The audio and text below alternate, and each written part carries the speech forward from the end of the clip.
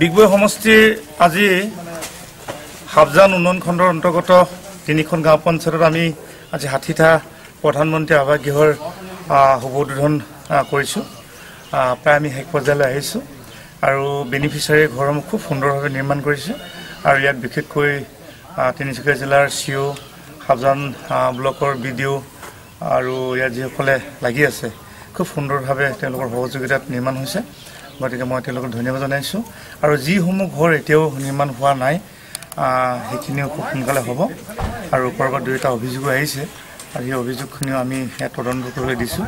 যাতে কোনো গাফিলতি কৰি ঘৰসমূহ যাতে বেয়া নকৰে। আৰু প্ৰকৃত হিতাধিকাৰী দৰিদ্ৰ লোকে ঘৰসমূহ যদি পায় তাৰ ব্যৱস্থা কৰিছোঁ।